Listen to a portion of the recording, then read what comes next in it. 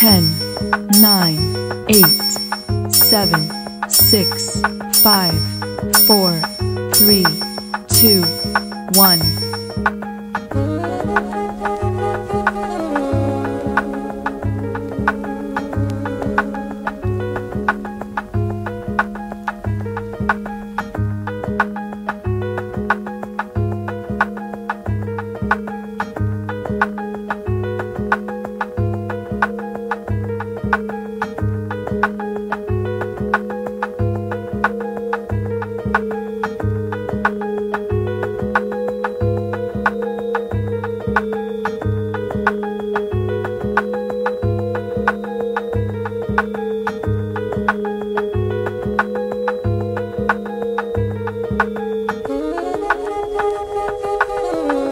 The vision of this project is while Wynwood is being inundated and exploding with street artists from all over the world, I wanted to get a chance to put all the local native artists into one place and really spotlight the movement that's occurring here.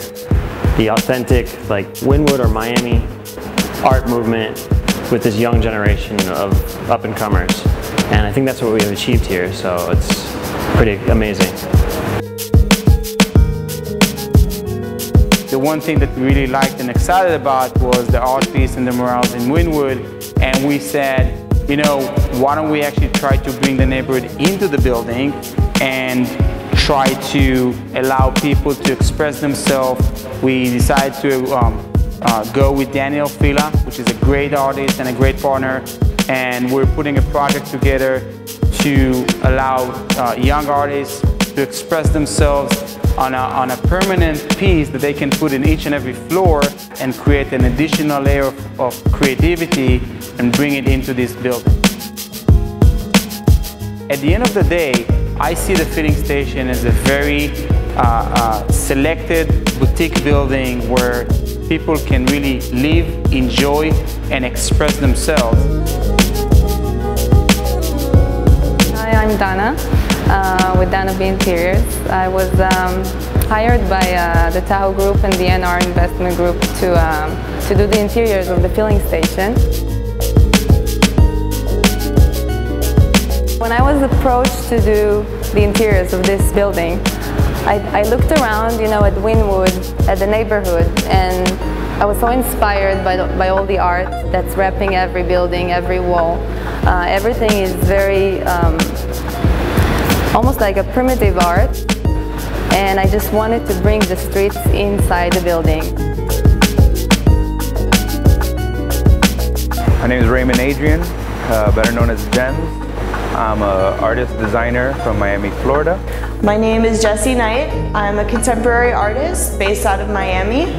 Hello, my name is Ruben Ubiera and I am a post-graphism artist. And for those who don't know what post-graphism is, um, it's basically, I think, a, a form of elevated graffiti.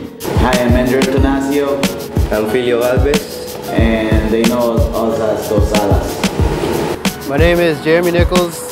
Uh, I sometimes go by Raskoe, live in Portland, Oregon. I'm Evoca1, I'm a Miami-based street artist. My name is Jose Mertz. I am an artiste. Sometimes I'm a creative person.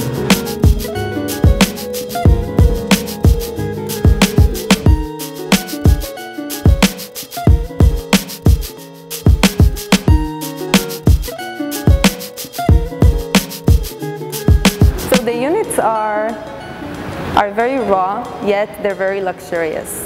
Uh, we use high-end materials, you know, European kitchens, um, high-end appliances, imported tiles, nice lighting fixtures, yet everything is very neutral and it's toned down so that a tenant, a potential tenant can come in and just express himself so each tenant can make a space become his own gallery.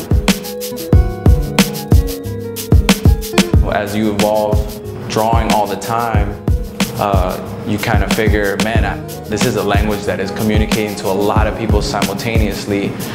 I got to kind of put my ego aside and what am I going to tell on a bigger scale, you know?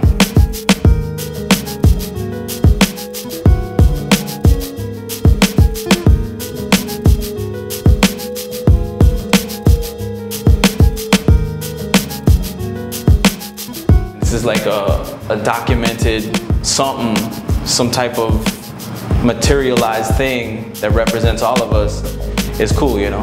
And it's cool that it's in the living quarters. Someone's gonna be seeing this every day.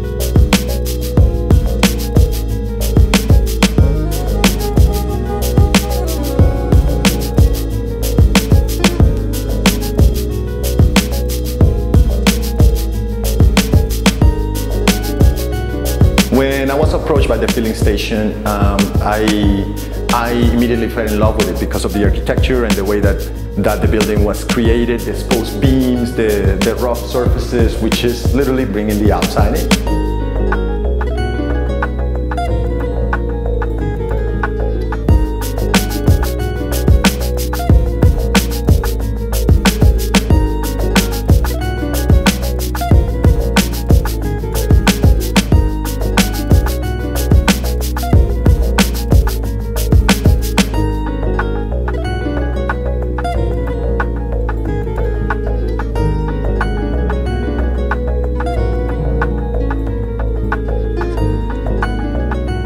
Collaborations is that. It's just being with those people, getting the most you could get, and then creating something beautiful, stepping back, creating, and then bringing back. And it's just that back and forth.